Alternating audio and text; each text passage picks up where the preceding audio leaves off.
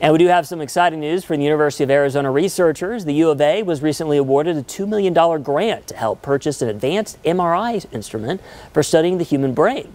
The university is one of the few in the country to receive the new model, which produces clearer and more comprehensive images of the brain with greater speed.